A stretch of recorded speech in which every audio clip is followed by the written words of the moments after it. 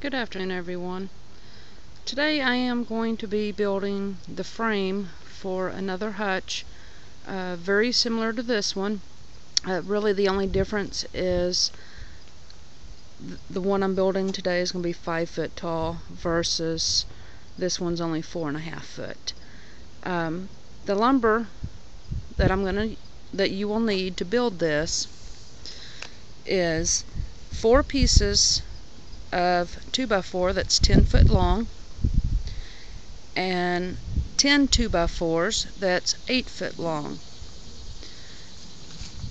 To build the bottom frame you will need one piece that is 114 inches, one piece that is 111 inches, two pieces that is 36 and a half inches, and four pieces that's 29 inches.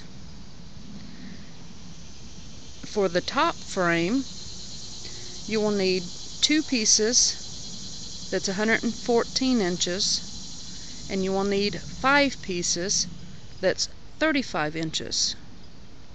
And then for the legs, you will need eight pieces that are 60 inches long. Now I'm going to begin to build my bottom frame and because I don't have a way to edit my videos or splice them together this is probably going to be about a four series video. Um, anyway I'm going I've already got my pieces cut so I'm going to screw them together and I will do another video to show you how the bottom frame is put together. So I will see you shortly you guys have a great day and thanks for watching.